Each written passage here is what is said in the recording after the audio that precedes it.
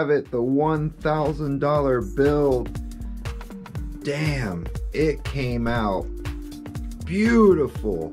Make sure to leave me a like on this video, guys. Subscribe, comment, let me know what you think of the build. I think it looks great. Man, the fans came out great. The CPU cooler matches. I love the memory. The memory is just beautiful, very vibrant. And then you have that nice hint of blue with that sapphire.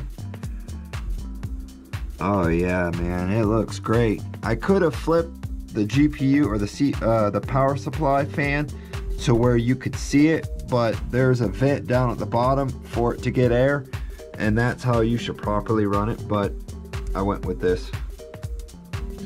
So it has 32 gigs of DDR4. It has a 10th gen i5-10400, which is a 6-core 12-thread CPU. It has an RX Nitro, and that's a 5500 XT. That is an 8 gig card, and it is their Nitro. This thing is off the chain. And then we got for SSD, we got that M.2 drive in there um, for storage